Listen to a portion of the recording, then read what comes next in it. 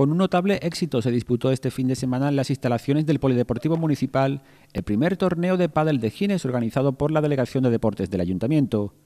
En el campeonato participaron un total de 16 parejas, que disputaron la fase previa en la jornada del sábado, quedando para el domingo las semifinales y las finales de ambos cuadros.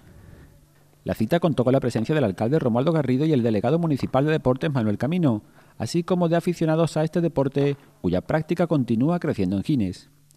En la gran final del cuadro principal, la pareja formada por los ginenses Pablo Díaz y Daniel Sánchez se impuso por 6-4 y 6-3 a la integrada por Guillermo Hernández y José Luis González.